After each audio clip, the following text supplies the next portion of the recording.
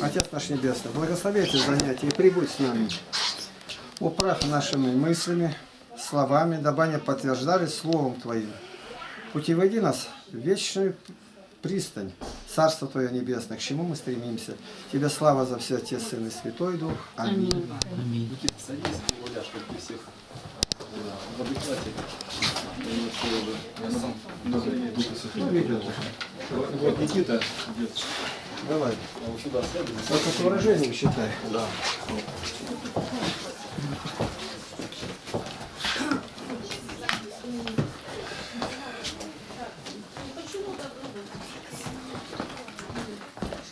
Некоторые о столах пекутся. Много. Долго время. Ну, не такое. Начинай. Послание апостола Павла к Ефесянам, 4 глава, 1 стих.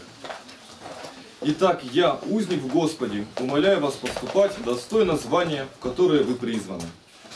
Толкование. Не властвовать должно учителю, а служить ученикам ради их спасения.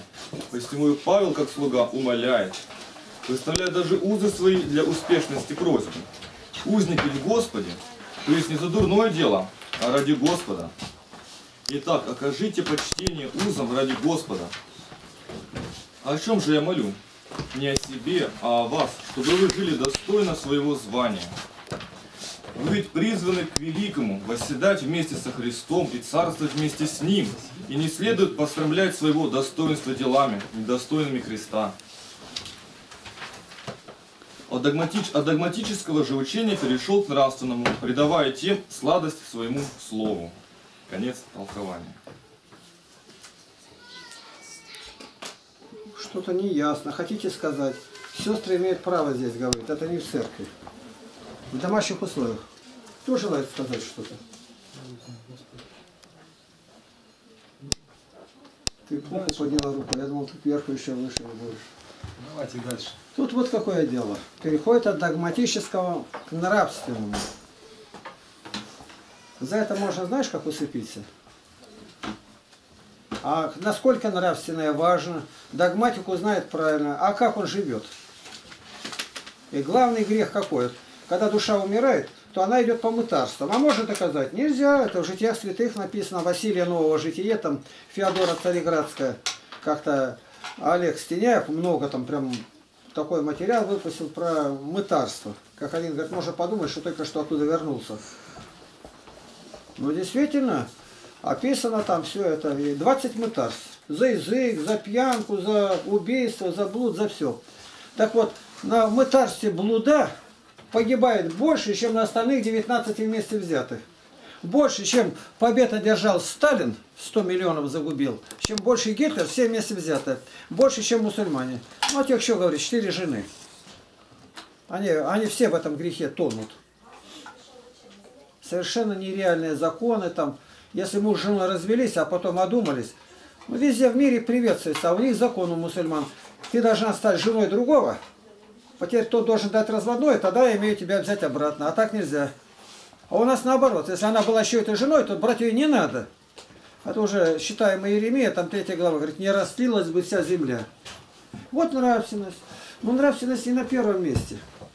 Догматика на первом месте догматика. Если человек не верит так, как заповедано в Слове Божьем, он еретик. А еретик, ну, нравственный. Еретик в тюрьме сидит, его сажают, он умирает, его сжигают, он еретик.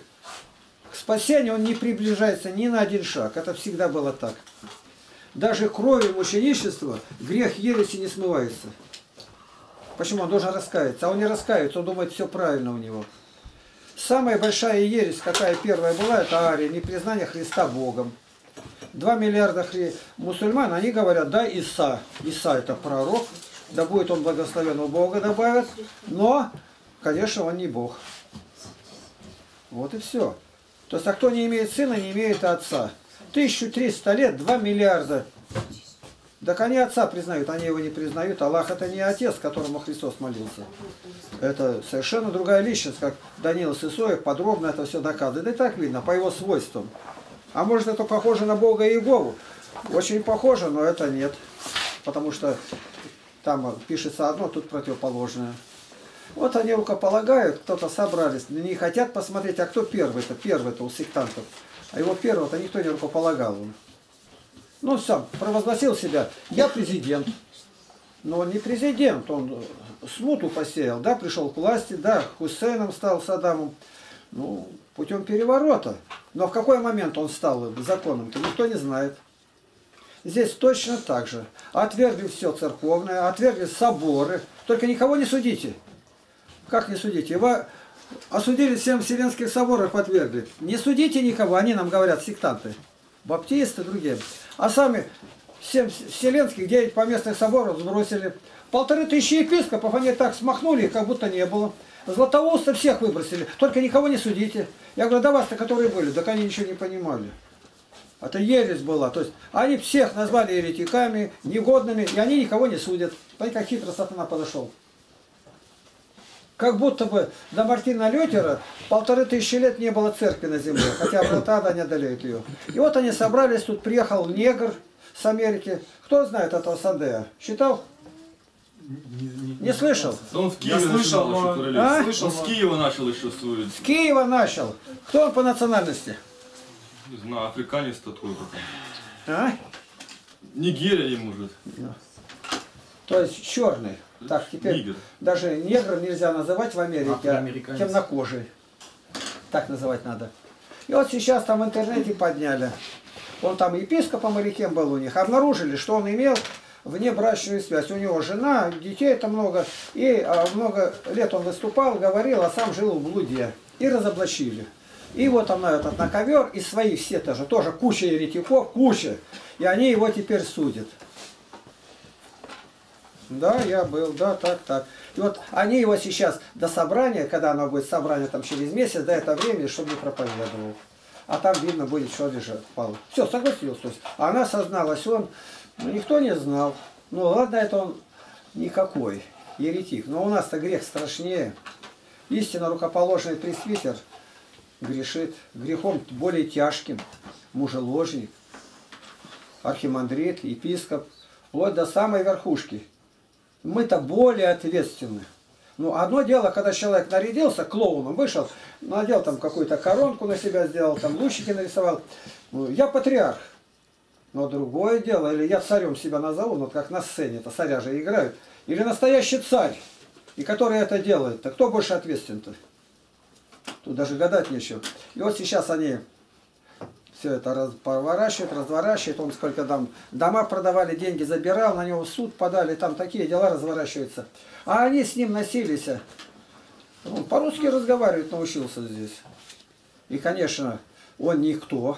Это самое главное. Никакой Журавлев там Сергей тебе не поможет. Он еретик. Еретик, злостный еретик. Он искажает основные догматы православия. Истины Христовой, даже так назову. А уж грех это человеческая слабость.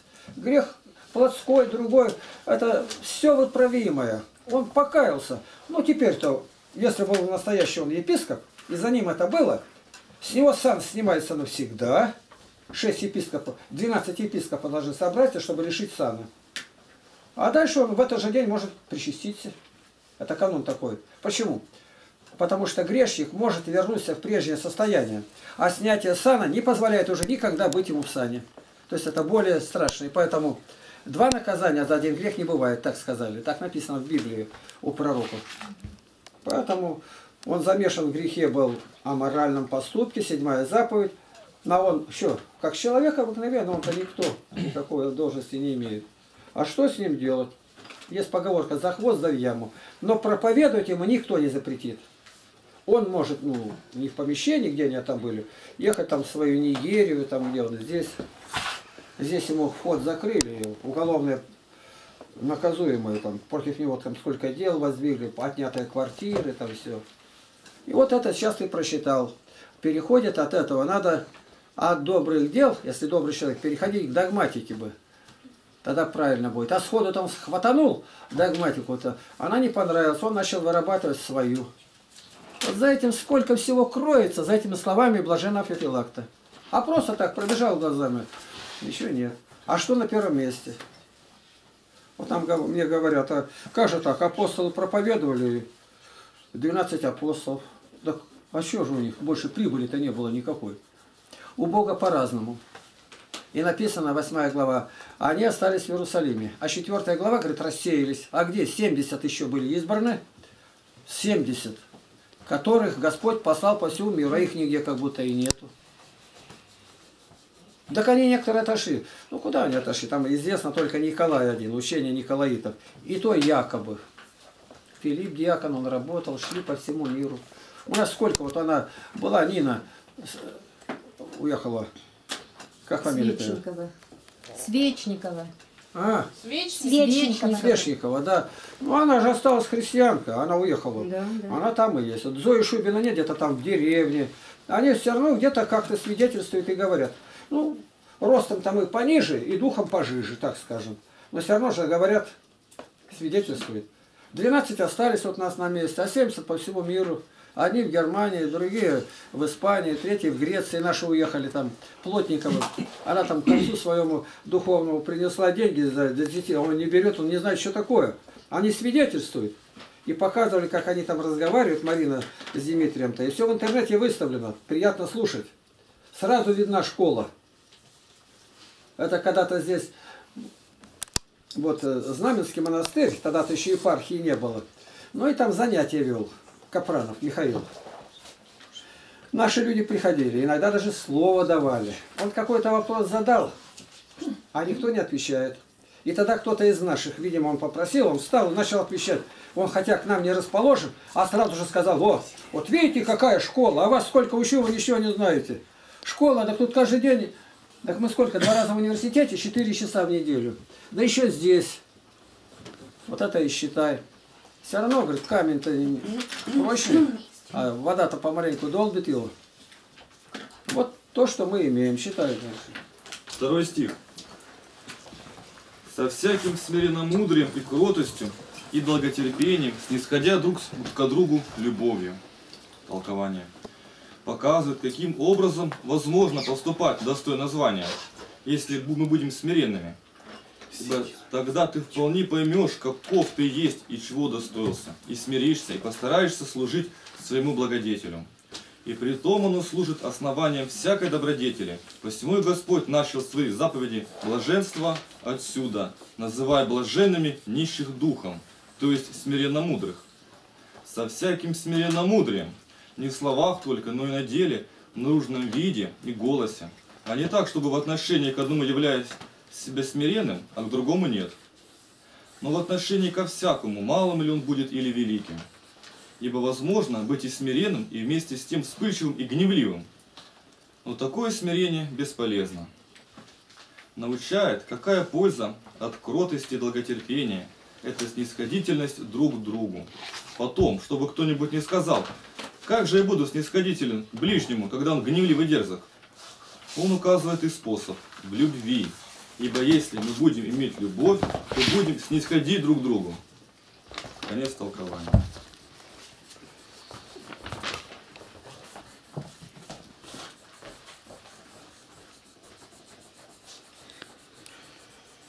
Ты слышал такое название бестормозной? Что это такое? Человек без тормозов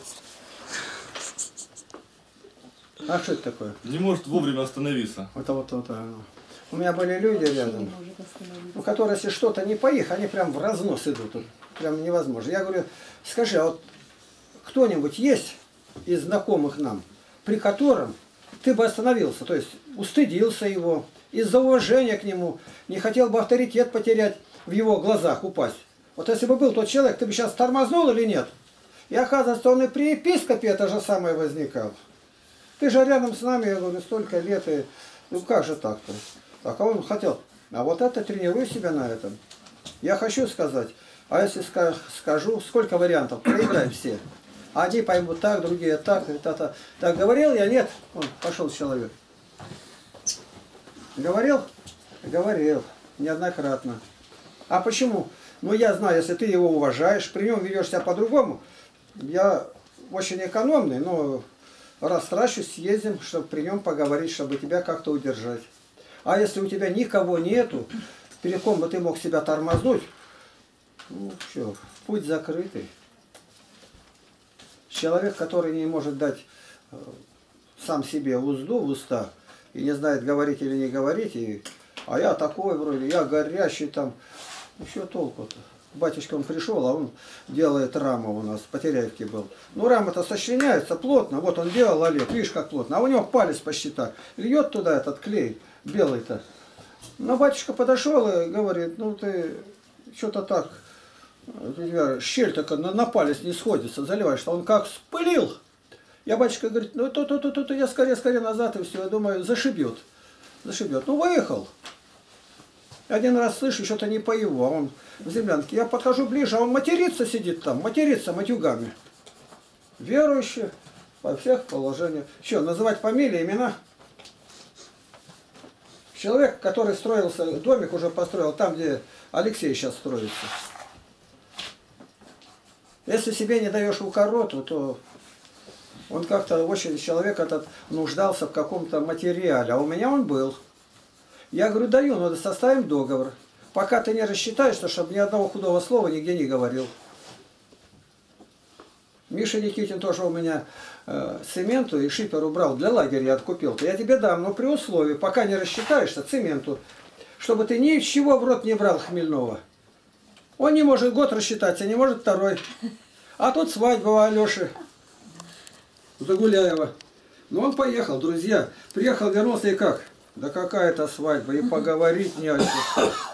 То есть не выпили, а у нас без, без этого дела-то, без шайтайной крови. Поговорить не о чем, недоволен. Распечатывать бутылку, хлопнуть ее, он мастерски так делает. А я договор составил, жена расписалась, диакон расписался, с которым вместе выпивают. К батюшке пошел, при свидетелях. Документ настоящий-то. Я его почти три года держал под этим документом. Ну уж когда он, видимо, смог, тогда вывернулся, привез все, теперь все, наша бутылка. Я что делал плохо? Да, я диктатор, да, гуру, но я что сделал-то? Его никто не мог обуздать, а я его обуздал, по милости Божией. Он нуждался, пришел, просит у меня, он сам пришел. Я ему не навелил. Так что надо искать, подойти как. Сегодня он не желает слушать. Я с тобой так поступал, нет? Да. Загонял тебя в самый дальний угол, а потом помаленьку ты выползал оттуда. Чем-то нуждаешься, я в тебе нуждаюсь. По интернету. Что, Никита из другой комнаты, он, наверное, уже стоит передо мной, как лист перед травой. Опять у меня не ладится. Вчера не одна папка, с экрана не убирается ничего. Так он нашел, Володя говорит, как Кощеева смерть на конце иглы. Надо было зайти и передвижек разных сделать, ну, в общем, не меньше 20. И с одного куда-то идти, идти, и наконец встали, папки этой нету. Пустая папка, не, не убирается и все. Заколдованная. Чё-чё, Никита мне очень сильно помогает. Как успокаивает. Никита, это что, на меня нападение или это у всех? У всех, ой, от сердца отлегло. Если всем это наложили такое табу, там не, не работает, я согласен. Но если на меня на одного, значит, какие-то происки, мне сразу тоскливо так делается. Пошли дальше. Третий стих. Стараясь сохранять единство Духа в союзе мира. Конец толкования. То есть толкование сейчас будет. Объясни тогда, что такое толкование-то есть там? Есть. Как в теле Дух все объемлет и объединяет, так и Церковь объединяет Святой Дух. Хотя мы различны по роду и по характеру и по занятиям. И через Святого Духа мы становимся единым телом. Итак, постараемся хранить это единение, живя в мире друг с другом. Ибо если мы не будем иметь союза любви и не будем жить в мире с друг с другом, то погубим то единение, которое даровал нам Дух. Подобно тому, как если бы возник раздор у руки или ноги с остальным телом, и они отказались от союза с прочими членами, то они уже не были бы под властью одного духа. Итак, нужно великое тщание, и мы нелетностно должны поддерживать мир, крепко соединяясь друг с другом, дабы как куда один стремится, и другой тоже, ибо таковы союзники. Они самопроизвольно распоряжаясь собой, тогда только будем в едином духе. Конец толкования. Ну, кто что-то добавляйте, а то опять влезу. Игорь. А где грань вот снисхождения друг к другу? Вот тут написано сохранять единство духа в союзе мира. А как вот его сохранять? Вот, допустим, у нас, ну, в общем, был такой, ну и сейчас такой обычай. Не обычай, а порядок. Вот бродобритие. Приходит молодой человек, верующий, искренне верующий человек. Ну вот, не все ходят с бородами. Вот у меня она как бы длинная, я поэтому говорю на эту тему, чтобы меня не заподозрили что я как-то. А вот он, ну, не хочет брить бороду, а я должен снизойти к нему и сказать, ну ладно. Как бы, Не ну, хочет растить бороду. Не хочет, нет, он бреет, бо- Ну, а ты подстригает ее. Ты говоришь, не хочет да, брить бороду. Он, да, ошибся. Наоборот, он не хочет себе э, ее растить, то есть и он ее подстригает. И я так посмотрел, 4 глава, 3 стих, и подумал, второй стих, ну и в самом деле, снисходя друг к другу любовью, сохранить союз, как написано, стараясь сохранять единство духа в союзе мира. Думаю, ну человек верующий, верующий, ну подумаешь, какая борода, ну какая разница, пусть он и в общем не будет, и все. То есть вот где грань вот это? Другой можно пример привести, ну и много примеров. Вот где эта грань? без примеров, все, переходи дальше. Единство духа. Вот по- поясни это, и ты поймешь, что с ним разговаривать уже не надо. Нету единства. Это уже другой дух. Если все, которые святые были, все с бородами, они в Духе Святом были, Златоуст, Павел, все 12 апостолов, Христос, совершеннейший человек с большой буквы. И мы должны быть в одном духе, или они были в Духе Святом? Да. А те, которые сегодня так делают, так какой дух? С ними единства нельзя, не может быть. С ними единство иметь, это защити против истины. На днях на меня выходит еретик с другого государства. И главное, я понял, для меня, это чтобы иметь мир со всеми. Если Павел говорит, если возможно, с вашей стороны, почему не добавляете это? А с еретиками мир какой? Почему Антоний Великий говорит, я за всю жизнь ни разу мирно не разговаривал с еретиками? Никогда. Какой может быть мир? Это враги Божии. Да, вот ну, есть вопросы, которые разные понимаются, а есть, которые одинаково, все понимают. Одинаково. А какие вопросы одинаково? Что без епископа нет церкви. Это понимала католическая всегда, которая от апостольских времен, от апостола Петра. Православная от апостола Андрея так и понимали. Григория Армянская от Варафоломея так и понимали. Коптская от Бабсирская, кто там от Фомы, от кого они. И так понимали. Значит, Вопрос снятый. А вы откуда взялись? А кто у вас первый рукоположен был? Какое единство будет в духе? В духе. Если те были не святые, значит, церкви не было. Она началась с 15 века. А этого не может быть. Это церковь. Церковь. А это, а если она против, это и не церковь. Конфессии, деноминации. Бросьте играть словами. Вместо этих слов ты должен поставить ересь. А то евангельское слово. А конфессии нет, это подмена. Подмена, который сатана любит. Я говорю, вор никогда не говорит, что своровал. За что? Да там взял вещь. Никогда ни один вор, самый последний ворюга, не говорит, что своровал. Взял. Понимаешь, как вот святые знали это и запретили подмену выражений делать. Надо говорить так, как есть. Да, я изменник. Да, я предатель. Так и говорить. До конца уже. Если блудник, да, я блудник. Если убийца, да, я убийца. Вот когда заключенные пишут, мне иногда прорываются, приходят, ни один никогда не пишет. Ну, мне вот срок дали, там, это 15 лет, вот уже явно, что убийство было. И грех не называют. Нет. А который, если раскаялся, он еще не написал письмо, а уже пишет, а что он сделал, и как он мучится этим. Вот теперь люди говорили о Христе, и я гляжу, они не церковные, так Бог примет мое раскаяние здесь. Я, понимаешь, я осиротил людей, вот зона, когда показывают, а он сидит, глаза закатил и ничего не говорит. Она его допрашивает, Светлана Адольфовна там, и она его спрашивает и говорит, ну а как теперь вот эта де- девочка там, Маринка, одна, какая девочка? Ну ты зашел в квартиру-то, женщину-то убил, он молчит, а у ней дочь, дочка шестилетняя, отца нет, она теперь сирота круглая. И она его буквально вогнала в нору. Он не думал разговаривать, он не знал, что дочь есть. Убить женщину, это он не берет, а ребенок его тронул. А она знает, как опытный психолог. Ты дальше рассуди, как? Вы убили всех святых отцов, отвергли. Все, весь путь церкви загадили, как будто его не было. Без рукоположения церкви нет. И рукоположение без всякого прикословия меньше благословляется большим. На меня сегодня один еретик напал. А вы говорили 35 тысяч разных сект, деноминаций. Докажите, если вы не докажете, не назовете, вы лжец. Я лжец. Я говорю, первое отвечаю, я никогда этого не говорил. Эту цифру первый раз от вас слышу. Второе, у меня книжка большая, Госполитиздат, секты их дела. И там написано, в 1930 году было только 300, там, с чем-то, может быть, сект разных течений, 300. А он говорит, вы не назовете даже 30. Да одних старообрядцев без поповцев больше 50. Ну, поморские, согласно, Щесовина, голбежники, дырники, там, как только не называются. Святого Валенка. Щесовина, Нетовсина, Глухая, Валенка поющие, ну что угодно. А одних старообрядцев больше 50. Даже, вот я считал, в Новосибирске, в одном городе, кажется, 68 зарегистрировано религиозных объединений. Они 30. А он верхушки знает и что я буду разговаривать-то? Разговаривать не о чем. Но несколько лет назад давали статистику. Тут обвально пошло, уже 11 тысяч было. Тысяч. Африканский континент дает чуть не каждую неделю. И спрашивать не с кого.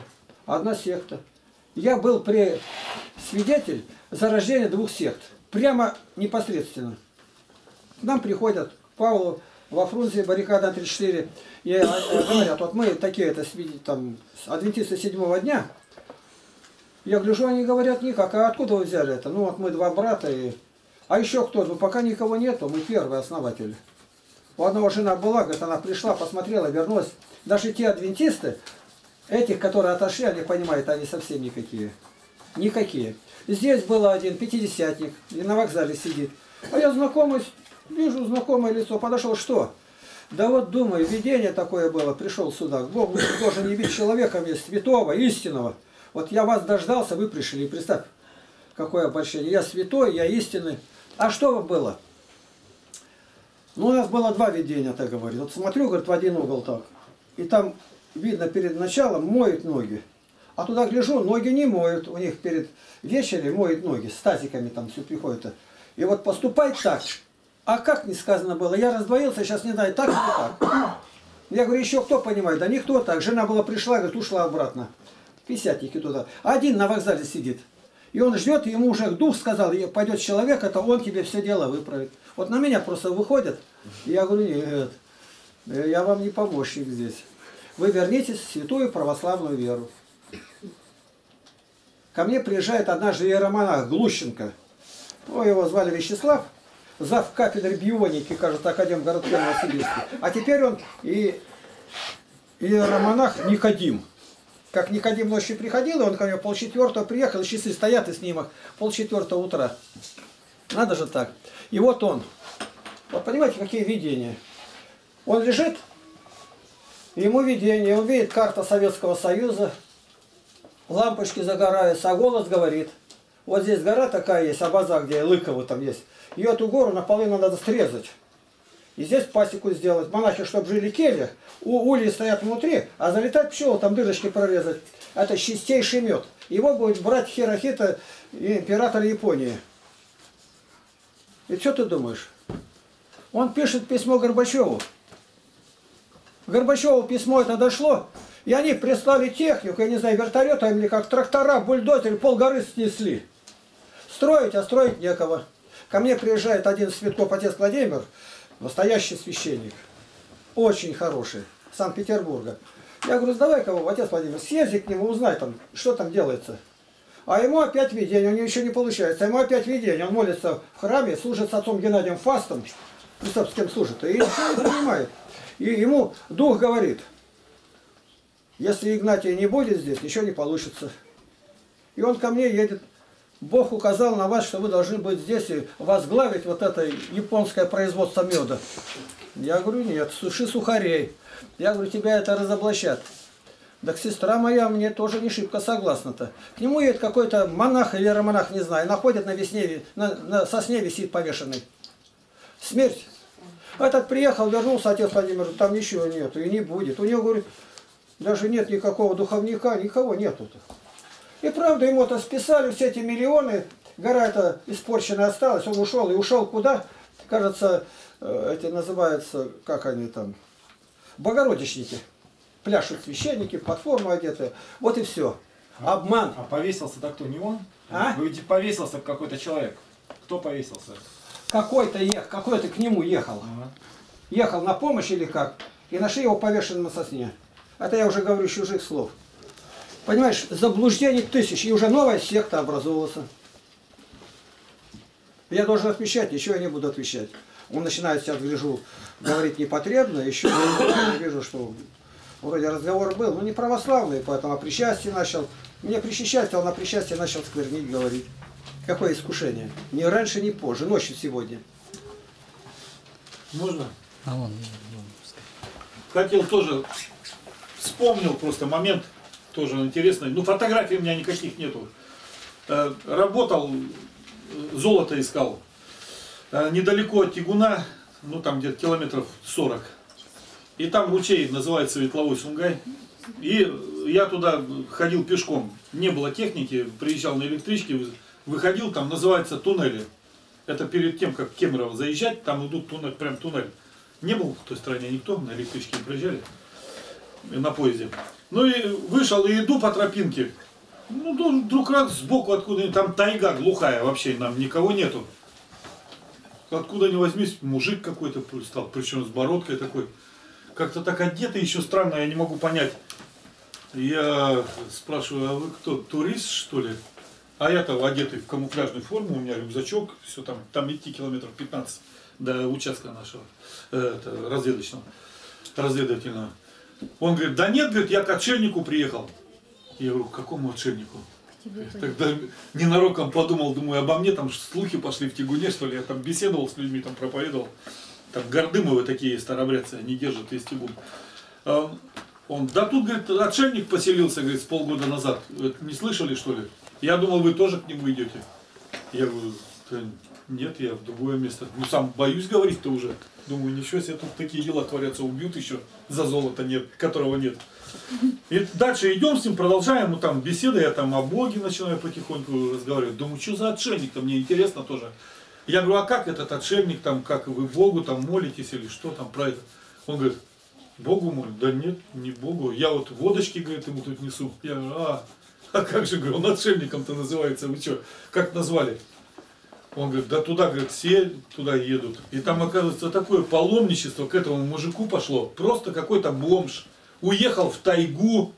К нему там его друзья, эти бомжи, ходят. Они там живут. Построили какую-то там, ну, там, да не построили, там была уже, видать, какое-то зимовье. И он там обжил, ну ему негде жить. Ему там несут туда туристы, там вокруг уже палатки. И он, вижу, идет и увидал что-то, о, добыча такой, побежал там к березке, что-то там раскопается. Я думаю, что там такое? Мухомор. Он раз этот мухомор, прям радуется, ух, какой хороший, раз пакетик этот мухомор, сумочку. Дальше идет еще мухомор. Мухоморы собирает, и я такой, а я знаю, что мухоморы нужны, э, короче, делают как химиотерапию, те, кто онкология. И я такой, а вон еще мухоморы, подсказываю ему. Он такой, у, побежал там, набирает полянка целый мухомор. Я такой думаю, ну, мужику помогаю, я какой молодец, от онкологии избавиться. Я говорю, а как вы это, настоечку делаете там, все, ну я в курсе же дел событий. Он говорит, да нет, говорит, мы их высушиваем, говорит, а потом курим. Елки-палки, я говорю, куда попал? И потом чем заканчивается все вот у этого отшельника? Туда паломничество продолжаются, продолжается, а потом мне, я выхожу как-то в Тигун за продуктами, а мне говорят, вы это, вас что, не взяли? Я говорю, кто должен взять? ОМОНовцы. Они же к вам приезжали. Они же на Ветлом Сунгае выходили, ну там знают. Я говорю, никаких ОМОНовцев у нас не было. Думаю, елки, ничего себе. Думаю, что там за золото такое началось, что ли? Говорит, а они, говорит, там кого-то взяли, там стрельба, говорит, была. Там убили, говорит, кого-то там что-то. Оказывается, этот паломник, пережрали этих мухоморов с кем-то там не один. И что вы думаете, выходят на туннели, а там осталось много техники, и там это, ну, туннели строят их, по- постоянно этот туннель подделывают, потому что там разлом какой-то. И э, это, к сторожу, там у него телефон. Что такое? Высадился японский десант. Сторож не... Идите, говорит, отсюда, говорит, понакурились что. Они сторожа связали. Телефон, вызывают там милицию, там ОМОН, там, ну все, куда з- это, звонят, где там телефоны находят. И, короче говоря, приезжает туда СОБР этот, ну, отсюда отряд милиции. и давай их там брать, а у тех ружья, давай отстреливаться. Собор ничего понять не может, давай там стрелять, ну, кого-то ранили, одного вот из этих, или самого отшельника, или кого. Сам- забрали этого отшельника, избушку эту сожгли и уехали благополучно. Все, и заповедали там администрации, кто только где-то будет тут селиться, чтобы никого не было, ни одного человека. Представляете? Это вот видишь, рождается новая секта. Пошли. Считай. Четвертый стих. Одно тело и один дух, как и вы призваны к одной надежде вашего звания. Толкование.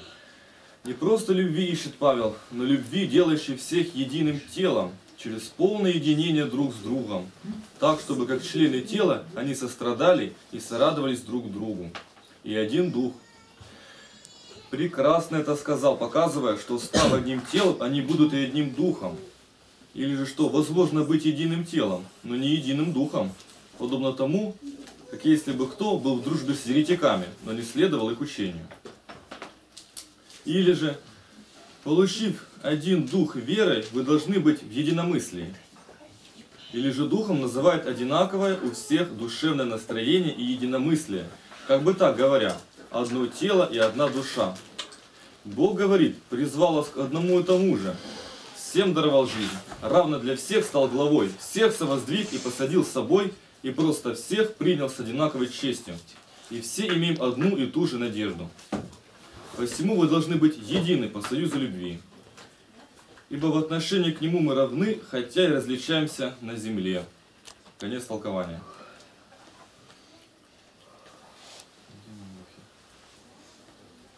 Я вот представляю, тут выходит он, он уже когда это толкование-то давал, он был диаконом, не архиепископом. Представь, диакон, ему разрешено в церкви было уже, отошли от тех времен, когда даже кроме епископа никто не имел права проповедовать. И пресвитерам запрещалось. Какую власть взяли? Слово Божие нигде не звучало. А тут диакон, и притом где? В Константинопольской церкви, вообще, грек. И вот он начал смотреть, увлекся Златоустом и стал конспектировать. Это действительно так было. Смотрит Ефрема Сирина, маленько добирала, что там Блажена Августина, там кто где был. Ну, это все-таки уже 11 век был. И большее предпочтение, конечно, выдавал Иоанну Златоусту. Может быть, сначала просто разрозненно, а потом начал систематизировать. Я так думаю.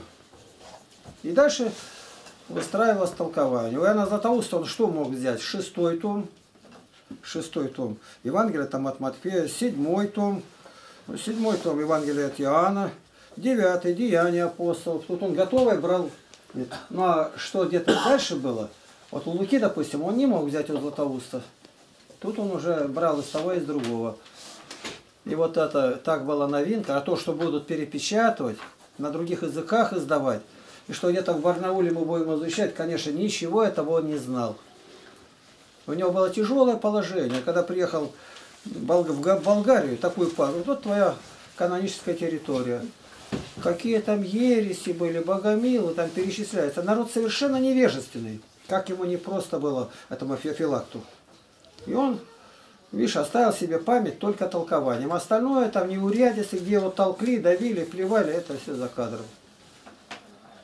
Вот что значит слово писанное. Говорит, рукописи не умирает, не сгорают.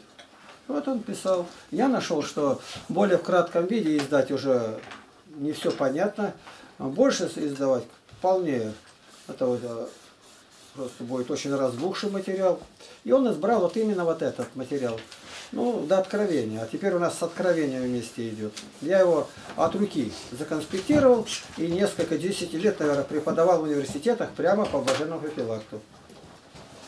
А о том, что я издам его полностью, с откровением, даже мыслишки ни одной не было. И кто меня на это подбил? Судников Николай Афанаил. Понимаешь, вот как в мире все слагается. Сделается неприятелем, врагом, а память оставил какую большую. Вот лежит трехтомник. Посмотри, какое чудо. Это он подвинул. Я думал, что этот том будет пятое откровение, открытым ухом. Говорит, нет, открытым ухом это другая серия. Новый Завет надо отдельно издать. И тогда поехали мы. Вот как оформить, это помогал. Все, верстку как делать, это он помогал. Да будет благословен у Бога. А его крушение ужасное. Женился, ребенка надо. Иеромонах. Но память оставил, память буквально вековечная. и думает, что выйдет она выйдет, но должен развестись, другого пути нету. Никак. Или она умрет. Уехал в Казахстан. Вот и все. Рождается новое. Его надо сверяться с тем, что было. Вперед. Пятый стих. Один Господь, одна вера, одно крещение, толкование. Ведь нет того, чтобы ты имел высшего Господа, а тот низшего. Чтобы ты спасался верой, а тот делами. Чтобы тебя делало свободным крещение, а того не делало. Нет. Конец толкования. Вот говорит, одно крещение. Да крещения его ни одного нету сейчас. Сейчас я смотрел, где подкинули. Крещение у лютеран. Ну, кажется, против католической церкви Лютер такой гигант поднялся. Но он должен был до конца смотреть-то. Откуда они взяли? И показывают. Что-то там читает, и они хором считают, что верую, что за меня умер Христос. Ну, все правильно. Дальше она подходит к столу. И у него такая форма, там э, лиловые ленты там пришиты. Ему-то зачем это? Они в это не верят. Таинство священства они не признают.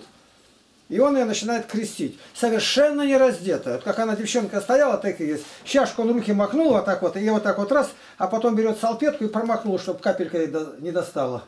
Я это не видал, что салфетка еще у, у православных он и кистью пол бы ударит и не промахнется.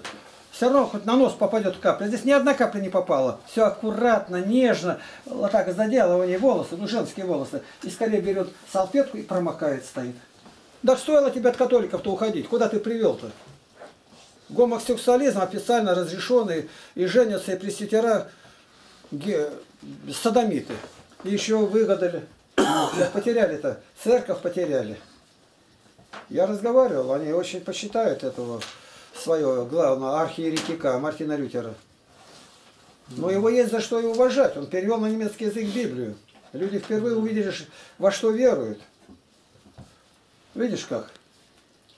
Это тоже нам помогает держаться того, что единое крещение, оно должно быть едино.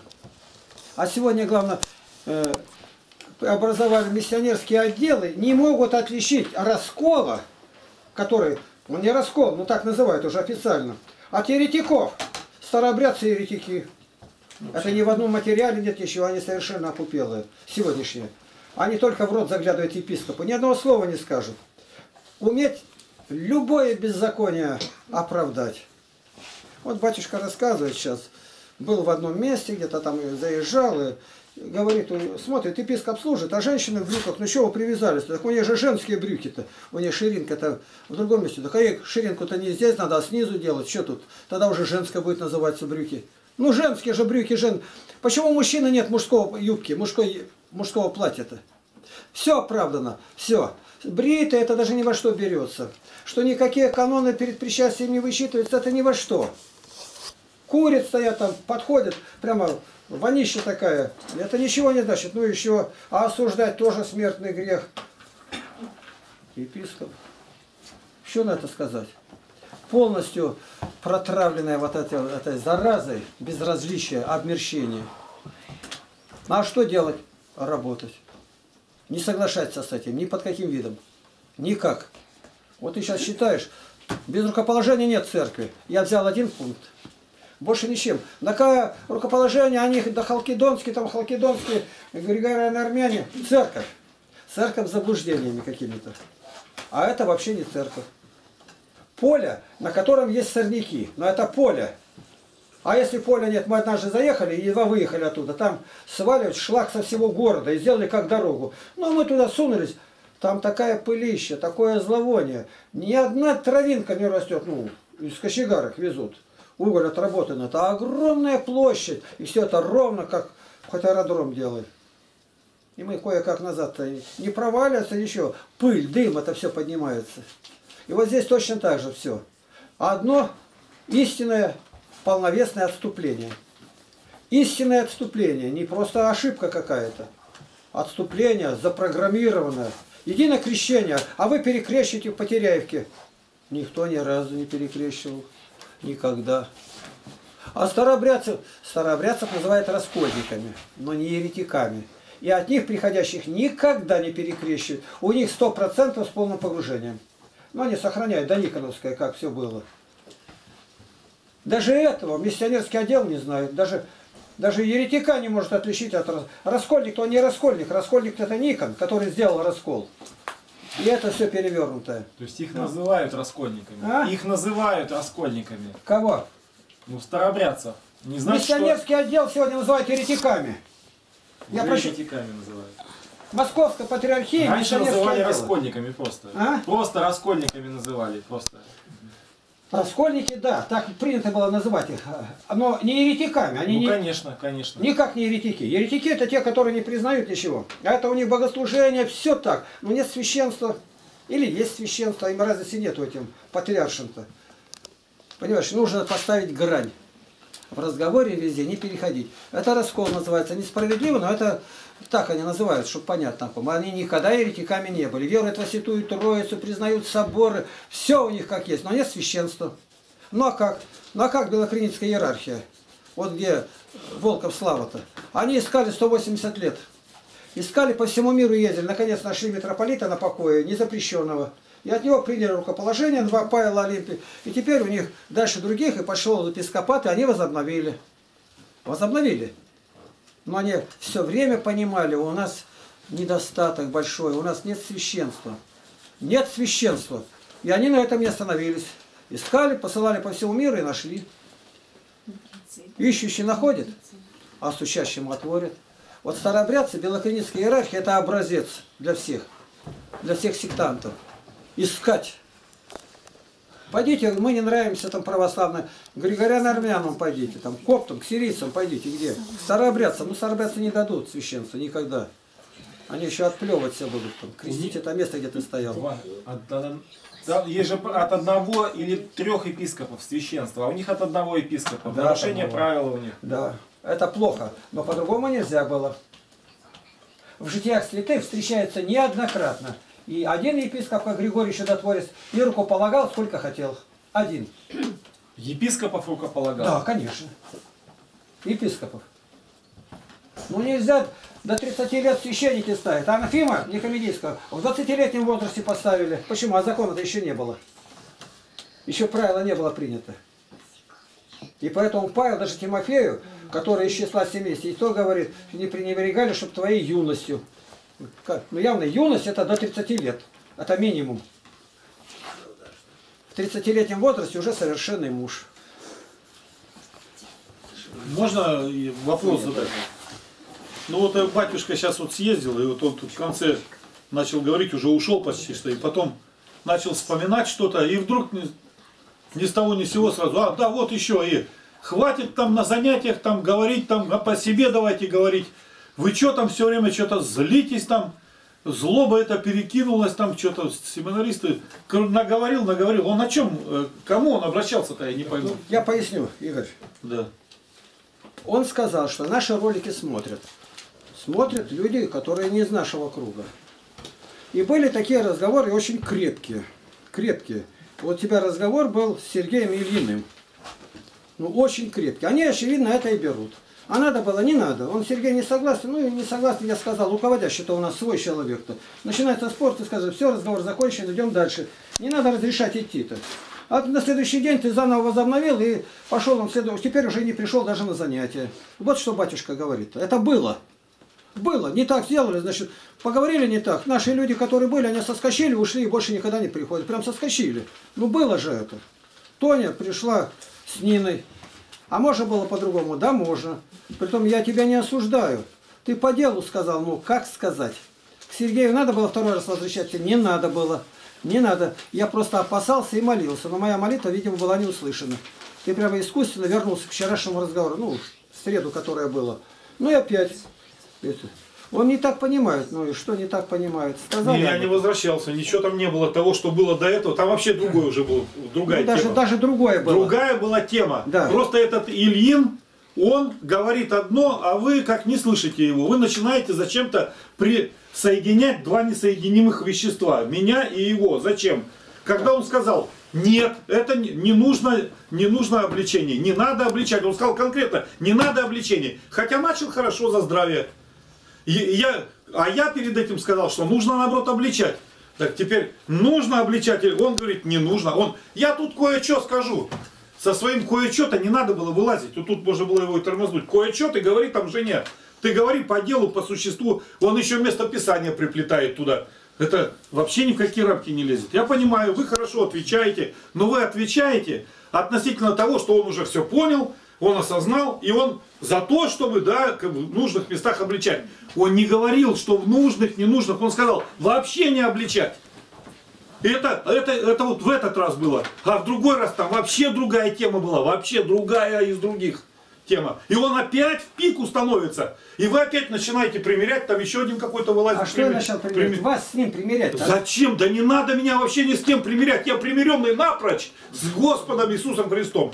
Вы же сами говорите, правильно, обличать надо. Да это Тимофей Я сказал, я-то знаю. Я- Это не вы говорите, а Тимофей. Я-то, Да. я начинаю места Писания ему приводить. Он, не от, не мы не от мира сего, сказал Христос. На этом кончено, все свиньи, ч- мир возле лежит, зачем нам к нему идти, к этому миру? Но- Я говорю, да ты просто не проповедуешь, это, брат ты там или кто там, акробат, не знаю. Ты проповедуй, и сразу все на свои места встанет. А он теперь не проповедует, сидят напротив друг друга священником, переглядываются, делают друг дружки, а кивочки хорошенькие, все молодцы, все у них хорошо э, в, в их церкви. Не надо никуда идти, все свиньи вокруг. А мы два таких сидим, не свиньи, и очень друг друга любим. Игорь, Это тоже на тему, кто смотрит.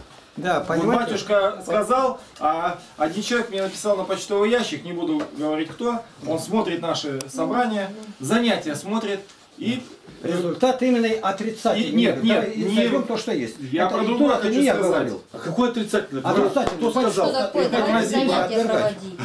Проводить. тормози, да, я Изучение слова да Божьего. скажу. Э, Пишут на почтовый, батюшка сказал, что высказывают отрицательно, а мне наоборот человек один написал, не буду говорить фамилию, имя, он говорит, о, хорошую тему подняли на этих занятиях. То есть вот темы, которые вы там обозначаете, вот помните, юридическая там теория, ну вот, вот эти как-то вы определяете. То есть людям интересно. Потом у нас была тема, мы разбирали священное писание, канон священного писания. То есть людей это интересует. То есть у людей в душе эти заноски сидят, и они не знают, куда кинуться. А тут смотрят, и они на занятиях видят, когда, как решается этот вопрос легко и просто с помощью священного писания. И вот как бы у меня предложение, чтобы мы больше разбирали вот таких тем. Вот сегодня мы разбираем тему о рукоположении, например. Это вот я бы сказал гвоздь нашей программы. Потому что вот у нас сейчас идет стих «Одно тело, один дух, одна вера». Одна вера, значит одна церковь. А почему сейчас существует столько разных вер? Один так верует, другой так верует. Мнение, вот недавно, вот в этот раз в интернете был диспут такой у меня. Мне пишут, там такая программка, что они просто скидывают, а я могу отвечать, могу нет. Оказывается, протестанты, баптисты не, считают себя протестантами. Вот такая уже вера появилась. То есть баптист говорит, мы не протестанты. Мы были еще задолго до, э, до раскола. И прям приводит какие-то факты, пасторы. Я прочитал, и там э, ссылка на какой-то исторический источник, кардинал некий говорит, если бы мы этих баптистов не уничтожали, а это еще до, раско... э, до Лютера было, тогда бы вообще вроде бы как и нас, католиков, бы и не было. Я посмотрел, думаю, ну, я не могу ничего сказать на эту цитату, и прям написано «баптистов». Это вальдинцы. Он говорит, видишь, говорит, баптисты были, мы, говорит, вообще к протестантизму отношения не имеем. Ну и вот говорю, что много веры, все понимают по-разному. Один вообще мне сказал протестант, ну я его называю протестантом, да кто вы такие православные? Вот мы от отцов церкви идем, мы, он называет, это харизматического настроя, там они и пляшут и прочее, он мне скидывал ролик.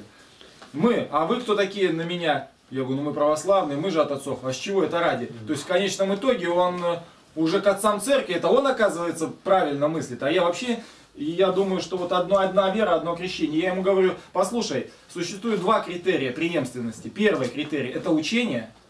Вот если ты ссылаешься на отца церкви, нужно, чтобы отец церкви также мыслил, как вы, во всем. И в богослужении, и в мыслях. И второе – это преемство священства. Докажи хоть по одному пункту. Ну, пока доказательств я не услышал, но там такое предъявление было. понятно. Вот. Ну, Игорь, что Я хотел сказать, что баптистами это, наз- это баптисты, это погружатели, погружатель баптистов. Это, не про тех ба- баптистов. Это были такие ва- вальдинцы. Они очень, а, это во Франции, где-то, ну в Лионе сейчас, не буду врать, ну где-то в том месте, он был бакалейщик просто. И начал, э, и начал э, выносить, э, священнику своему епископу, епископу, он поставил вопросы, прям поставил, написал сколько-то вопросов, и там был перечень, и перечень такой, почему там у нас э, не, не- нету погружения при Какой год, крещении? скажи, вот, примерно. Это я тебе сейчас скажу. У меня даже записано 1400, 1450 где-то вот такое время. Это, скорее всего, они и есть. Да. что И они распространились, эти вальденцы, и люди пошли. И вот как у нас, как я даже Игнатьевичу пришел и показал, говорю, поглядите, какие вопросы они ставили. Ну, просто занимался словарем и нашел вот их, и потом о них посмотрел. Они распространились, и они до сегодняшнего дня есть. Вальденцы, да. Ну, только, конечно, это очень узкое течение, типа старокатоликов что-то. И они вот это, ставили каноны на первое место, все-все. Но были в церкви, они не поднимали ни бунтов, ничего. И крещение там, э, вот это, у них было погружение. Ну, и- то есть и они так далее. делали на погружение, да? вот Э, всё? сейчас я тебе не могу точно, но там очень много упоров. У них там прямо он выставил перечень вопросов, его за это гнали, там образовалась у них община, ее прям разгоняли силой, потом народ поднялся, там и восстания были, их, короче, отпустили Дело на в том, покаяние, вот из- и они распространились по, по э, все- всей Франции, э, в Швейцарии и даже у немцев были, ну там по, по княжествам. Так что ты посмотри вальденцев. Я Это просто, про них когда я прочитал эту цитату, она там баптист, прям написано, я сделал такой вывод, что речь идет просто игра понятий. Я говорю, тот баптист и ваш баптист это разные понятия. Разные, да. Вот баптизмом, понимается, вас называли, потому что вы погруженцы. Я вообще считаю, мое личное мнение, что это оскорбление баптистов, вот говорят баптисты. Это были просто выходцы из таких уже законсервированных протестантских церквей, где уже были такие теплохладные христиане. Они решили, нет, мы будем креститься только в сознательном возрасте, крещение детей нам не надо, и будем правильно их погружать. Это были люди. И а их начали называть погруженцами, баптистами. И вот прилепилось к ним название баптистов, а те-то тоже говорили о погружении, потому что католики не погружали. Соответственно, к ним тоже прилепилось это название, но они совершенно разные люди. От них потом дальше, дальше потом пошел протестантизм, вот там буквально даже ста лет нету. И чехи вот поднялись, тоже все отсюда уже пошло, Ян Гус. Игнатий Это все вот. А, а был, Вот а, там что-то Никита, видишь, он а был, а был еще такой очень известный, подожди сейчас, Так, давай-ка, пошли дальше, но мы совсем не пройдем. Пошли, Шестой стих. пока. Оставь. английский теолог. на следующий. Один Бог и Отец всех, который над всеми, и через всех и во всех нас. Толкование. То есть Он, Бог над всем, и через все проникает своим промыслом и управлением. И во всех нас обитает. Заметь также, что еретики предлог через относят к Сыну, а во к Духу, как будто он имеет умоляющее значение. Они прилагаются к Отцу, конечно, не в унижении Его. Конец толкования. Вот думаю, на сегодняшний день вот как-то вопрос это даже не совсем актуальный, говорить о отец и сын. Единственное, что вот есть такая группа верующих, которые себя называют свидетели Иеговы, вот у них, конечно, сына они не признают за Бога. Вот тут, конечно, можно было с ним побеседовать. Ну там тяжелый случай. Седьмой стих.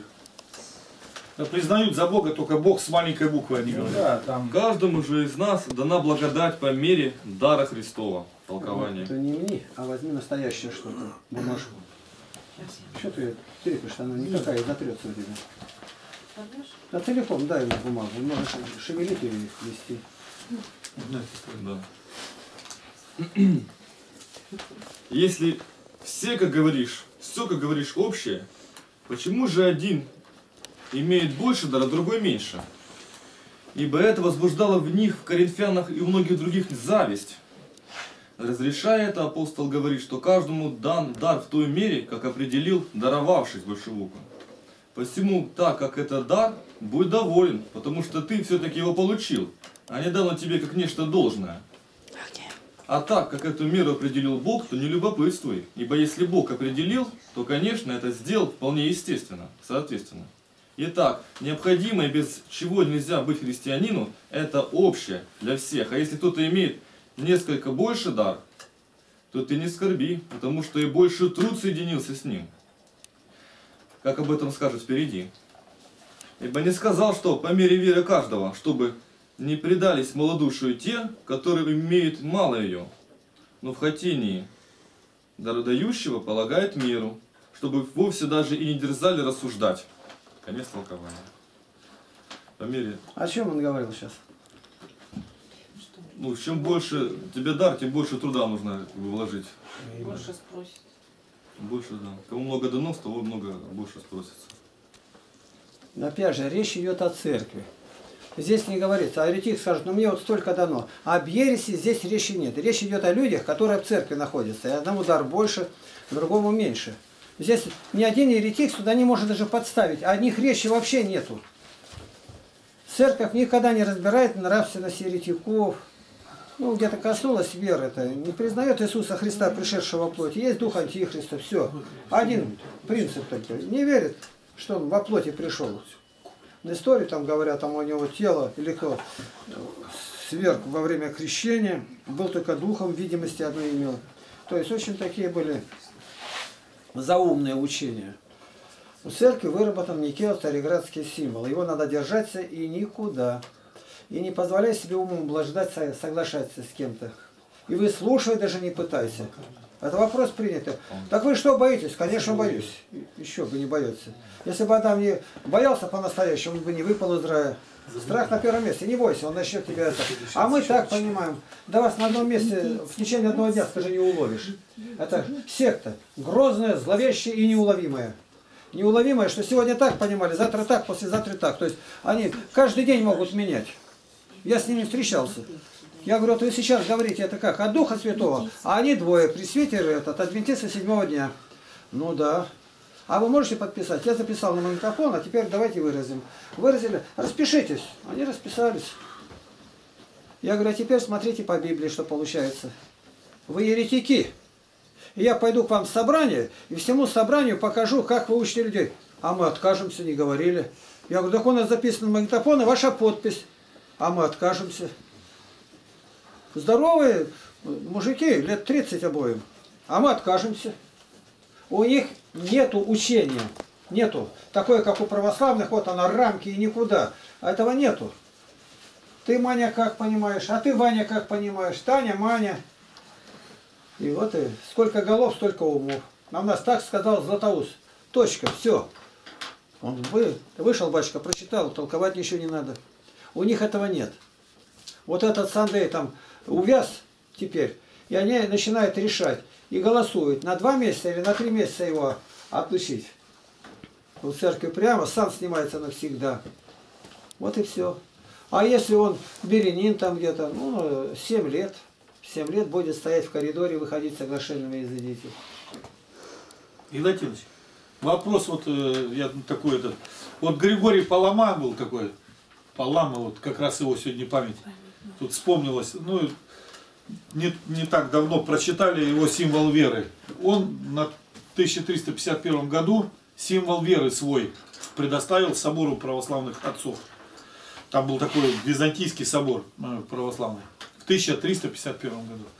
И вот на этом соборе посмотрели этот символ веры Григория Паламы и признали его ну, православным, этот символ веры. Ну а там читаешь, я хочу сказать, очень сложно э, осознать, о чем он говорит. И от отца, и через сына, что-то там такой дух исходит. А Это каком соборе? Что за собор? 1351 Я год. понял, а собор-то какой? Ну, я могу Восточный, католический. Я его Почему? вообще не воспринимаю, Григория Паламу. Совершенно считаю чужой, считаю чужой человек. А вот эти не- энергии нетварная там его- энергия, Да, там да, да, да, разбирает свет нетварный. Да, и вот вот это. по- а семинаристы любят рассуждать об этом. Что ты там можешь рассуждать? Там вообще рассуждать не о чем, этого нету. Вот осиял свет на фаворе. Какой свет? От кого? Или отходит он, или прямо от Бога? Зачем тебе знать? Был свет. И все, на этом закончено. Ну, Сейчас какие открывает тайны, вот это а, огонь благодатный, как его там зажигали, какой обман шел все эти годы. Да, Да я с первого что? дня говорил, я в это не верю. Я тоже. Сейчас прямо вы- выступает Прямо? священник армянский, рассказывает, какие там лампы висели и как зажигали. Никакого. Ну было, говорит, раз или два, а остальное это все обман. Да вы что? Да. Ну заряди просто в интернет, он стоит интервью дает. А, я, А я не- уже почти Я поверил. никогда. У меня в книгах написано, я это не в этом признаю. году прям честно. Я совершенно не признаю. Думал все и уже я не верю, что поверил. мощи Серафима обрели, я совершенно Слава не тебе, верю. в это. Господи. Какие-то там А где это э, почитать? Э, В интернете? в интернете. Надо зайти посмотреть. О благодатном огне Да? священники свидетельство о лживости, что ли, благодатного Да, огня. что, я обязательно Ну опять же, опять же, сейчас вот вы, мы прослушаем этого человека, другой человек выступит, скажет, этот неправильно сказал и начнется Игорь, дискуссия. Не надо, не надо. Подожди, стой. Ничего не надо говорить. Ты просто посмотри, когда идет сейчас благодатный огонь, и как они. Обязательно нужно дождаться этих арабов. Да. Молодые друг на друга скачут, как ребятишки-то. И дальше орут, они на них едут, как черти из преисподней. Без этого огонь не зажигается. Еще совсем ошалели. А. Посмотри, какая перед Правда, этим правда. прелюдия это идет. Ты видел, как они там орут? Ну, я видел, кричат сильно там. Вообще там ужас.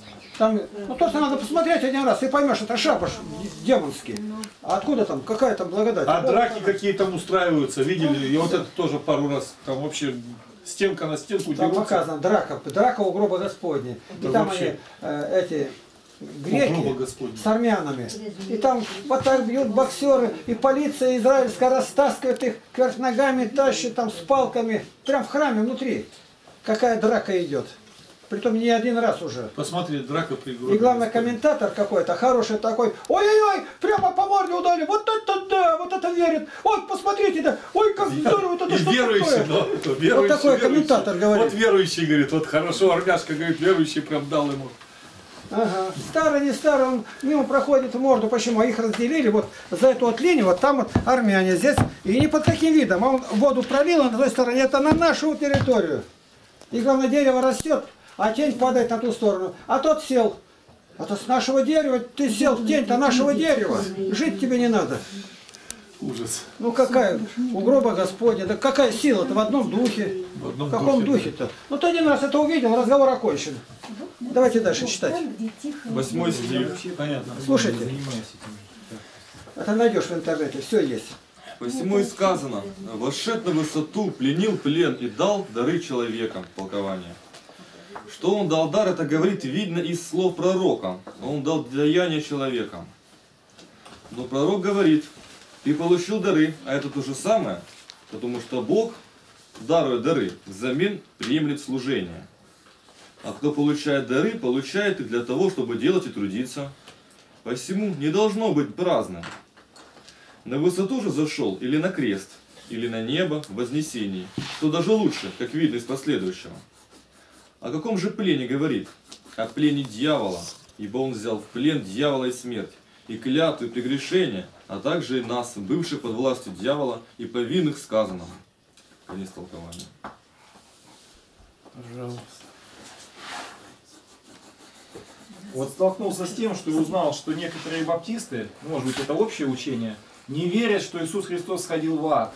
Я удивился, я говорю, ну ладно там священство, ладно там крещение детей, это надо там все это вникать, все, вы еще, со- но тут сошествие в ад Иисуса Христа настолько просто и очевидно. Вот не верит и все человек. Как? Я говорю, ну смотри, ну допустим, и вошед, не шедший, он же и вошедший превыше всех. Куда он не шед? Вошед на высоту пленил плен. Э. И не сходил прежде в преисподние места земли. Здесь же речь идет о сошествии в ад, я так более последовательно адвентисты седьмого дня. Ад, ад, и дальше адвентисты седьмого дня. Вот у них это хорошо сделано. Чтобы доказать, они говорят, преисподнее, это означает с неба на землю. А сходил, да не ада нету. Тогда они установили, ада нет, преисподней нету. В том виде, как понимают. Преисподняя это могила. Могила. Вообще нету. А теперь как? И в Малахе написано, сгорит как солома. Солома сгорела, ничего нет, никакого мучения нету. А все из-за чего? Суббота. Вот субботу установили, это суббота главная теперь, она больше по размерам. Суббота. Я говорю, в субботу Христос проповедовал. Где он проповедовал-то? Ну, тело было его в гробе, а душой в аде. Им теперь надо доказать, что он не был там, значит, ад надо убрать. А раз, раз ад убрали, то никуда и не сходил.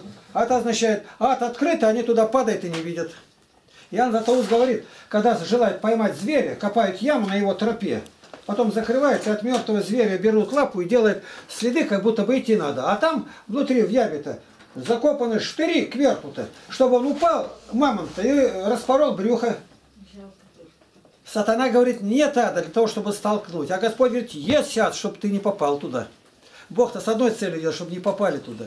Коротко сказать, вот как раз про субботников. В этот раз по интернету американский баптист один ко мне обратился, говорит, Игорь, там у нас диспут сильный сейчас идет, вот сейчас прям, ну вот буквально на днях они шли там с субботниками, проконсультируй. А я не знаю, что и сказать. Я говорю, ну адвентисты седьмого дня, другое название субботники. Чтут субботу. В церкви, говорю, в православной, если считать, то субботу признавали достаточно долго. Относились к этому снисходительно. Воскресенье признавали и субботу. Это было в первой христианской церкви. Но потом суббота как-то отошла, есть аргументы. Расскажите вот о субботниках кратко. Вот, ну, Я? Да, ну, я же вас спросил. В первую очередь нужно сказать так. Закон был где-то водителем ко Христу. Запомни, запиши себе. Они с этим согласятся. Закон был где-то... Тут четкая программа должна быть. Где-то водителем ко Христу. Согласны? Они говорят, согласны. И тень, это был прообраз. Прообраз, в нем заключалось новозаветнее. Ветхозаветний был ягненок. Согласны? Да, в Новом Завете ягненок указывал на Христа. Согласны? Ну так написано, Агнец Божий берет на себя грех мира. Евангелие от Иоанна 1,29. Записали, мы уже с ними одинаковые. Я говорю, его положили куда, это, ягненка-то куда? Ну, ну, Авраам куда? Он построил жертвенник. Христа когда взяли, куда положили? Как куда? Ну, когда его, если он жертву, он жертву принесет, на что положили? На крест. На крест Тут тоже. толковать не надо. Как вознес змею в пустыне, так сыну человеческому надлежит быть вознесенным. А как вознести, если это столб? Змея-то на перепрещенной была-то. Как яговисты-то говорят, не было креста, столб стоял-то. А как змею-то бы на столбе-то, на палке-то повесить? Значит, была поперечина, и на нее на, накручена тогда. Она как удержится-то? Тем более медный змей, медный. Ну, согласны, да, так. А Господь говорит, творю все новое, запишите. Записали. Вы верите, что новое творит? Вот так написано. Вот до сих пор мы дошли одинаково. Я дальше говорю, скажите, маленький простой пример. Самое святое, что было в Израиле? Ну, что там было? Ковчег. Нет, не ковчег. Ковчег для чего-то был сделан. Что в ковчеге было? Самое-то главное не кошелек, а что в кошельке было. Ну так нет? Правильно?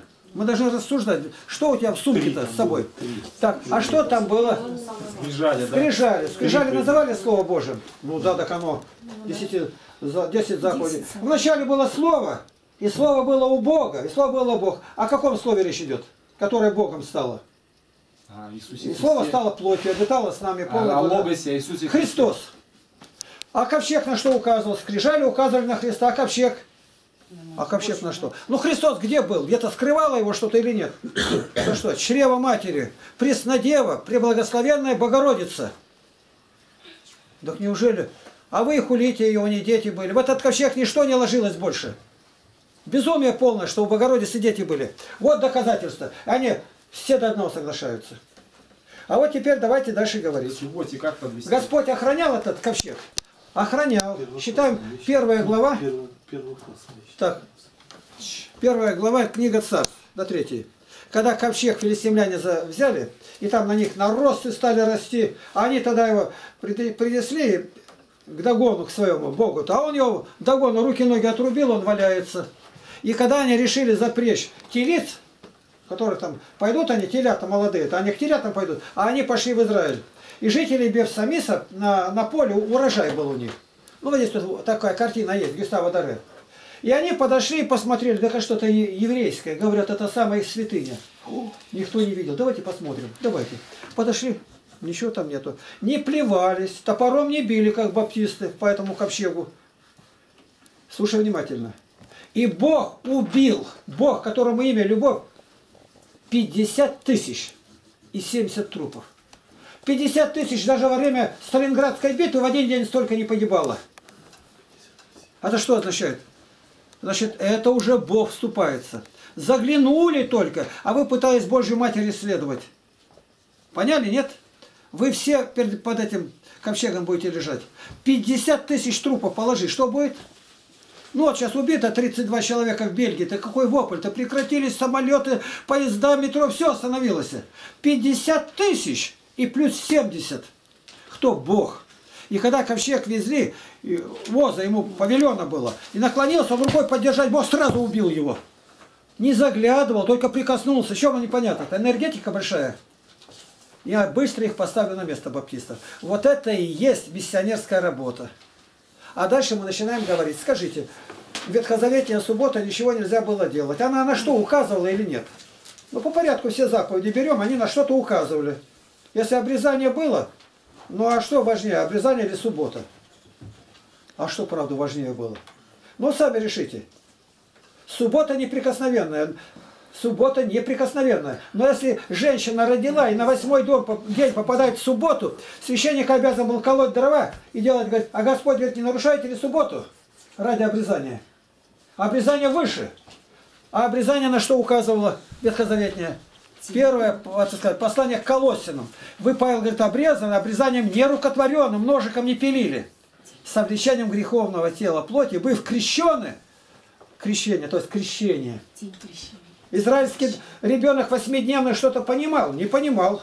Завет заключен был, да, иначе он истребится. У нас крест от маленьких ребят... ребятишек. Они ничего не понимают. Это завет Божий, это ковчег. Суббота указывала на воскресенье. Понятно или нет? Суббота вечная, она никуда не делась. Она просто пришла в истину. Суббота это прообраз воскресения. Там был покой, а мы где получили покой? Воскресенье. Рабство греху кончилось. Нельзя было работать, и мы не работаем греху. Мы не работаем. Вот об этом-то надо им сказать, что суббота, баптисты говорят, Бог отменил. Он ничего не отменял. Он говорит, не отменить, не нарушить пришел, но и возвысить, то есть исполнить. И он его исполнил. Ветхий Завет был дан для ребенка. А теперь Павел, э, э Златоуст говорит, мы в мужа совершенного, и Павел говорит об этом. Для мужа совершенного это воскресенье. Так, теперь Господь говорит,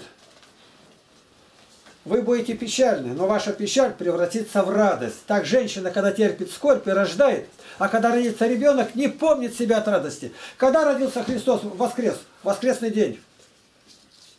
Те уже начали деньги давать, говорите, что украли, а ученики слышали, воскрес, Христос воскрес. Вот она радость. Лежите вервями жертву, 117 псалом. Ведите к рогам жертвенника, Сей день иже сотвори Господь, возрадуемся, веселимся. Так жертву-то когда принесли? В пятницу. А день, который возрадовался рядом, воскресенье. Тут все открытым текстом, доказывать ничего не надо. Надо только места совместить. 117 псалом считай. И когда родится ребенок, не помнит себя от радости. Родился кто? Христос воскрес. Это называется новым рождением. Творю все новое новое. Там творение было, Бог сотворил небо и землю, а теперь показывает, что это означает в духовном плане. Там сотворил животных, а здесь, говорит, леп и ягненок будут вместе. 11 глава Исаии. А как? Ну вот он леп, рыкает, хватает христиан, осиял его свет, он упал. А что повелишь делать? Он ягненок уже. К этому льву, Савлу, приходит Анания, епископ. Брат Савл, что ты медлишь? Вот она где, тысячелетнее царство-то идет. Они ничего не понимают. И все, все места кончились. Тысячелетие царство наступило на Голгофе. Там примирение. Какие варварские племена склонялись перед Богом, такие как Христофор. У него, говорит, такой вид был. Когда его привели на допрос, император в обморок упал. В обморок упал. Так его рисует, голова, дальше собачья голова. С ним не могли там 30 человек ничего сделать. Он их как Самсон раскидывал. А он обратился и стал христианином. Вот сила какая. Итак, наступил день покоя. То есть новозаветнее воскресенье. Вот мы сейчас субботствуем. Субботствуем, то есть не работаем, отдыхаем. Отдыхаем не делать обычные дела твои. Что такое пост? Пророк Исаия объясняет. Церковь это все приняла. Вот от чего суббота это был прообраз, тень будущего воскресения. Ягненок на Христа, ковчег на Божью Матерь. И так все, что в Ветхом Завете было, все – ну а как люби отца и мать? Сектанты на этом спотыкаются. Там написано. Да как в Новом Завете как? О, там заботились, пока вот не покинь меня в старости, когда отец будет оскудевать в силе, а мы заботимся и об умерших. Мы сопровождаем песнопениями церковными, мы молимся о них. Упокой в обителях небесных. Эта заповедь перешла в небесную теперь. Ты по порядку начинай, по порядку все все заповеди 10. Там написано не убей, а в Новом Завете, кто гневается на брата, уже убил. Вот это да. Не прелюбодействуй. Да как на нее не посмотреть, она красивая. Это можно смотреть, но ты не походствуй на чужую жену. В Новом-то Завете это же самая заповедь, она, Господь не сказал, теперь прелюбодействуйте или что-то. Это будет, но я оставлю другое. И не пожелай. Там написано не кради. А у нас как имение к ногам положи. Продала все. И... То есть все до одной заповеди, десятисловия возвышены. Они были прообраз. Господь говорит, новое творю. То есть новое разумение заповедей. Скрижали те же самые. Все перебери, и там увидишь, там последняя заповедь, не пожелай поля, не пожелай. Интересно, Пушкин как понимал это. Я, говорит, понимаю, поле, оно мне не нужно. Вот этого не пожелаю. Ну не пожелаю рабыню. Ну как это выполнить? Пришел он, материал пишет, говорит, 113 любовниц Пушкина. Ни одну кухарку мимо, как Королев, вот это кораблестроитель, не пропускал мимо. Не могу, говорит, эту заповедь выполнить, никак. А вот пуля в живот теперь схватился, все, ни одной служанки не надо. Скорее письмо царю. Царь, прости меня, на тебя говорил. Тебя, твой трон я ненавижу. Твою погибель, смерть детей жестокой радостью вижу. Вот видишь теперь? И царь тут же склонился и говорит, не переживай, обеспечение семьи на мне. Я буду заботиться. А кто это написал? Василий Андреевич Жуковский, друг его. Он вместе с Михаилом, э, с Далем, с Владимиром Ивановичем был у него. Жуковский. И посмертную маску с Пушкина снял. Но Вот момент такой вы сказали, а, важный такой момент, обрезание выше субботы. Вот это да. момент такой. А Господь так и сказал. Восьмой день, девятый не может быть, седьмой не может быть. Ну, женщина не прикажешь, когда родить-то. Она родила его в пятницу-то. А восьмой день попадает на субботу. И обязаны обрезать его. А суббота нарушена будет. Значит, господин суббота. Суббота нарушалась все время ради обрезания, только ради обрезания. А обрезание выше. Обрезание это завет с Богом. Завет с Богом, посвящение. Оторваться от языческого мира. А суббота только показывала о том, что мы должны день Баптисты творения. же понимают, что обрезание это э, и крещение это и есть прообраз. Они понимают Дальше, так. смотри. Господь шестой день творит человека, а седьмой день почил. Господь творит нас когда? Когда проповедует и воскресает седьмой день. Как это для нас? Первый день. Он в первый день недели воскрес прямо. Он помог в субботу воскреснуть. Нет, первый день. И первые христиане собирались, говорит, когда? В первый день. Когда откладывали, Павел говорит, откладывайте. 16 глава 1 Коринфянам, в первый день. Вот воскрес бы Господь в субботу и не было бы споров. А вот Да. Не было бы споров. Он воскрес. Так они так говорят, он воскрес в субботу. Я говорю, а как вы посчитали? Ну, ну, в четверг его распяли. Да как же в четверг его распяли? Когда, говорит, была пятница и наступала суббота, когда допрашивали. Наступала. А за четвергом-то пятница наступает. То есть они лживые, все еретики. Вот они теперь, а это о вас говорится, а это у вас нет священства, а у нас есть. Ну, Господь говорит, что вы от лукавого, ваш отец дьявол, они говорят, это в тебе Вельзевул, это ты его силой делаешь. Они перевернули на Христа. Поэтому слушать их не надо. Отойди от них. Но вот это, что сказал, субботники, а как они реагируют? Никак. Для них это шок. Там такая ситуация, что девушка из семьи баптисткой вышла замуж за субботника. Ну, своих, наверное, женихов нету, они внешне совершенно почти одинаковые, но у мужа вот субботнические понятия. И вот теперь она своих родственников, ну, между своими родственниками, баптистами, и вот новым мужем пытается найти какой-то компромисс. И вот меня родственник попросил, ну ты помоги сестру убедить. Я говорю, друг, я как тебе, я сам не специалист. Ну вот вам, вы мне сейчас рассказали. Игорь, ты где? Подожди-ка. Игорь, ты вышел, что ли? ты же сам помнишь, что я что там делал? Компромисс какой-то. Когда между собой, ну прям явно, что в кризис схватились с этим Сергеем-то там. Вот об этом говорят там. А я только сказал, Сергей-то отвечает правильно по кротости в этом моменте. Но обличать надо, Игорь-то прав. Но как преподнести это, они прямо так схватились. А я сказал, что они оба отвечают правильно, но каждый одну сторону освещает. Надо знать, где обличать, где не обличать. Я же все сказал. Ты же меня спрашиваешь, что я скажу. Я сам не вылажу. Я отвечаю.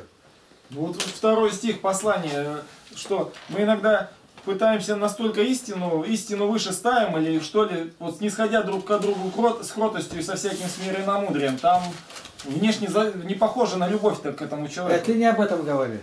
Это говорится о другом. Куда ты прилепил? Ты прилепил к ереси и к истине. А здесь речь идет в житейских делах.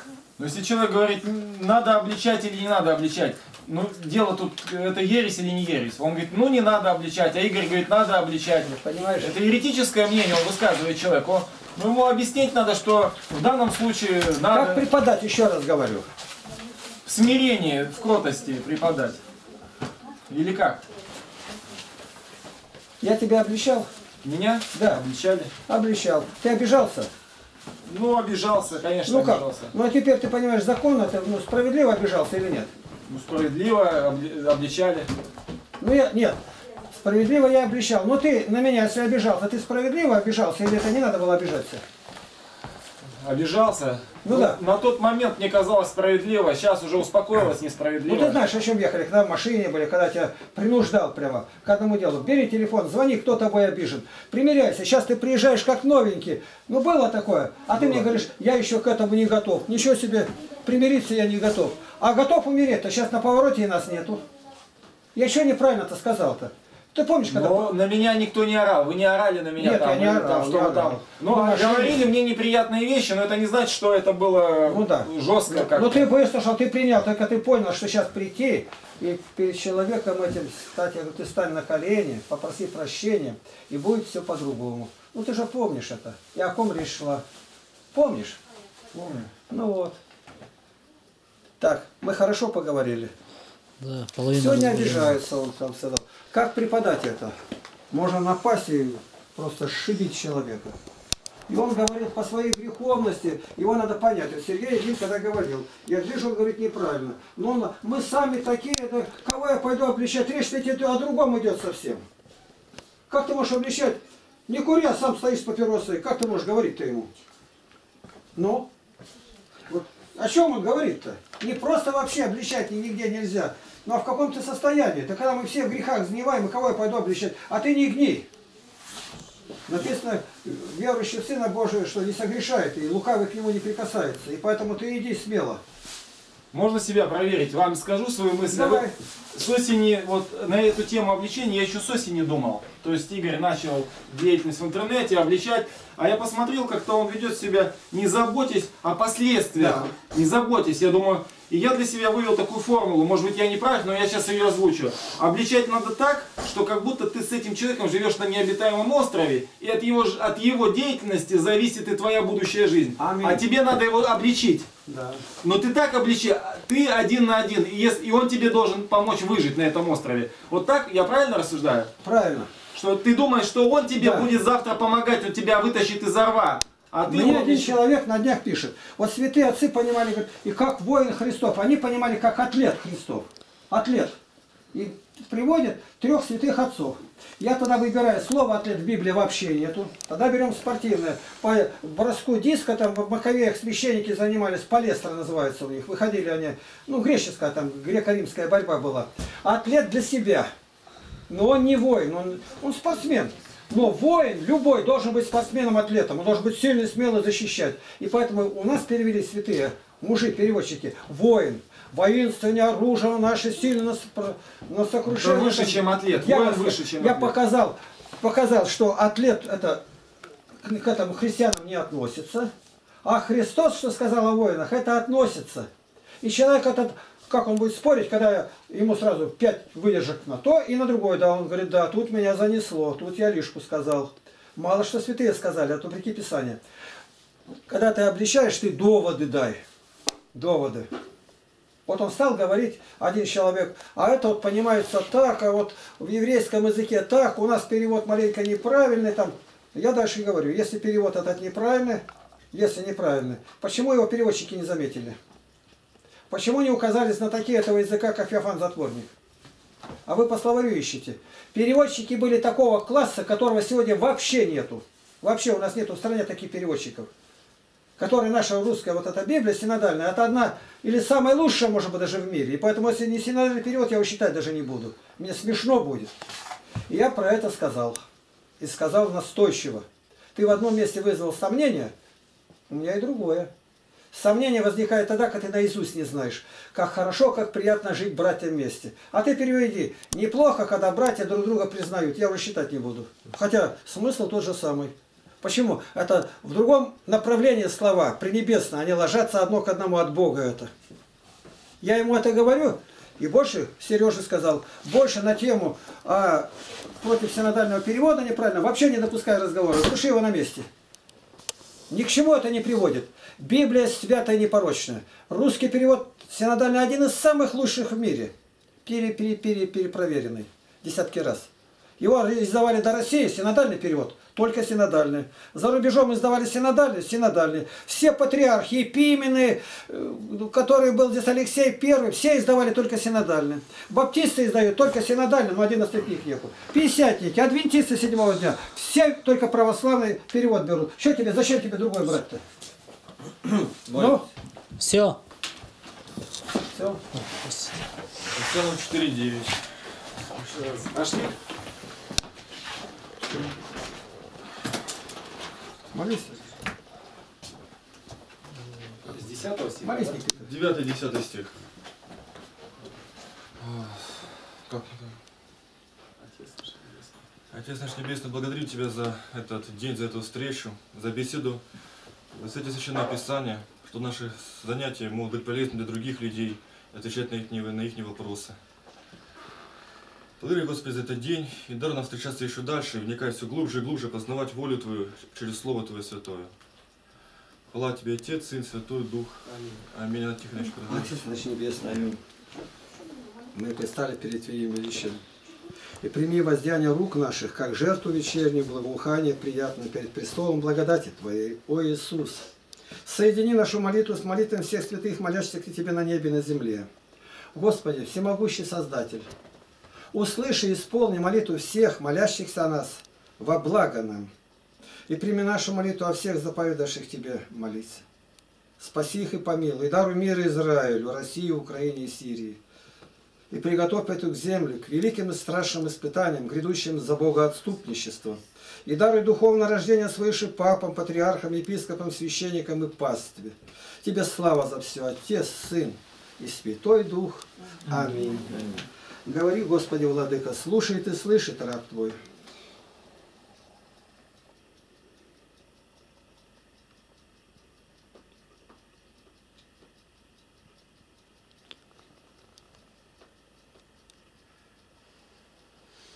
Аминь. Во славу Божию.